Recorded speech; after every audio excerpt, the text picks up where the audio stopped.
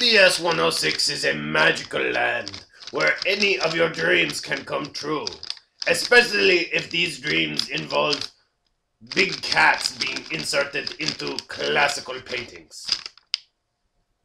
You know, I haven't seen one in a Rothko though, like a big color field with like a little, little chubby tabby in the corner. I kind of like to see that.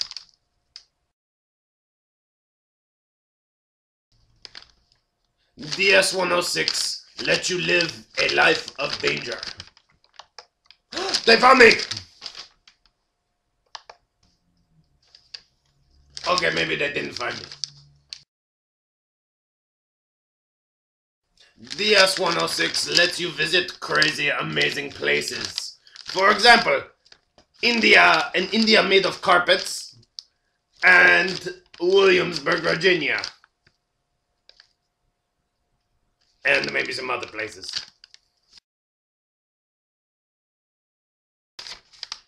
It's always Christmas on Twitter. that one's mine. DS106 allows you to reenact scenes from your favorite movie.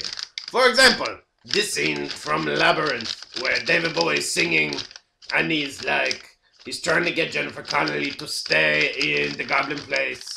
But now it's a ballroom, it's now like a goblin castle. And he's like, underground. It's a song, it's a, something about underground. That's all. That, that's all I remember. DS106 is accepting of conjoined twins. Right?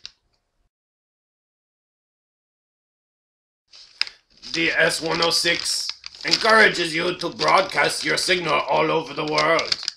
To London, to maybe Chicago and or Tokyo, to a train station that no one is waiting for the train at, to the inside of someone's camera, even. This reminds me of another music video, maybe the Cars, or Huey Lewis. They all, they all blur together. And the most important reason that the 106 was made, and is even better than Bready Cats, is because it encourages you to make some art, damn it! Make some art, damn it! You know, like this guy. Hey guy, what's up? Maybe you should try a little burnt ochre. That's just my opinion.